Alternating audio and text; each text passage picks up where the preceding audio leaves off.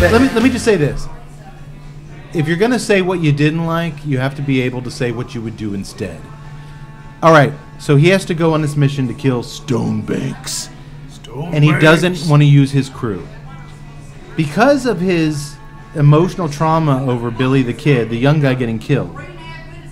My thought was if Matt Cade was given the task of writing and directing Expendables 3, he goes and recruits a real Suicide Squad, Michael Dudikoff, American oh, Ninja. Oh, that would be Mark awesome. Singer, Beastmaster.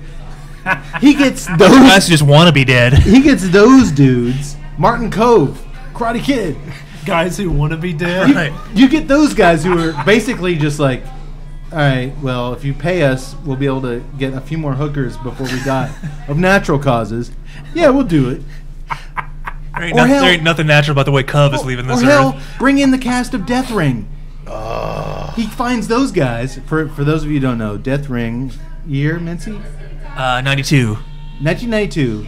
A So we'll go find, classic, we'll find Billy Drago. a classic Death Ring was put out straight to video. Its catch No, okay. The DVD says Swayze McQueen. Only if you're very discernible, you know that one, Steve there's McQueen. Is, one. Steve Norris. McQueen is dead. no Yes, Swayze, McQueen, McQueen, Norris.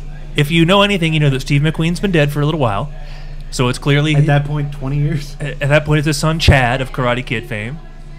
It's not Patrick Swayze, who just got done picking up like twenty million dollars making Ghost. So it's his brother Don, Don Swayze. and it sure as shit ain't Chuck Norris. It's his brother Aaron, or was it Mike Norris?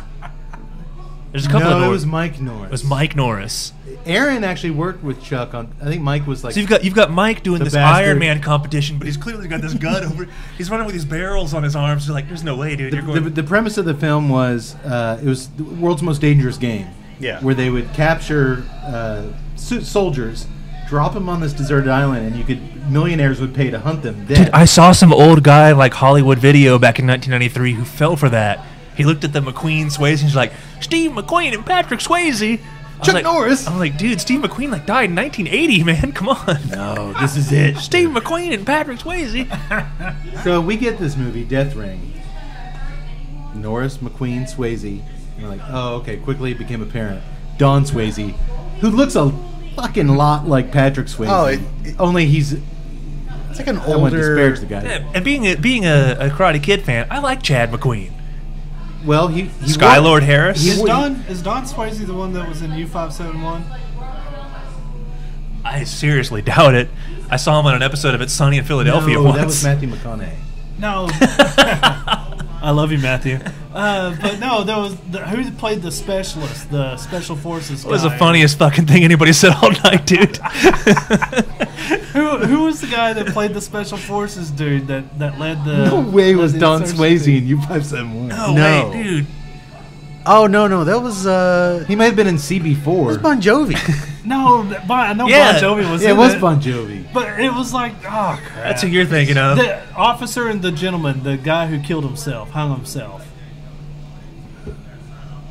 Oh, oh, David Keith. Yeah, is he related to Patrick Swayze? No, No. no, No. No, no. I always thought that that was like Don Swayze's no. That's brother. David. No, David Keith's a whole nother animal. Okay, never mind. He's related to the guy from Caddyshack. The Brian Ke- Brian Keith is the the caddy in Caddyshack. No, okay, that guy's name is O'Keefe. Yeah, that makes you some freaks. we are Oh, We're on our third buried hatchet. Fantastic, by the way. yeah, those guys don't look. fantastic. Those guys don't look. Bill at, Murray's related to Eddie Murray, the guy that played for the Orioles, right? Those guys don't look anything alike. Okay, I wish I could say that. Uh, I never saw I you. thought David Keith was his brother because of Buried Hatchet, but no. no, that thought- I saw U571 back in the theater some 15 years ago. Don Swayze is not in it. I never saw U five seven. It'd probably be a lot cooler if he had.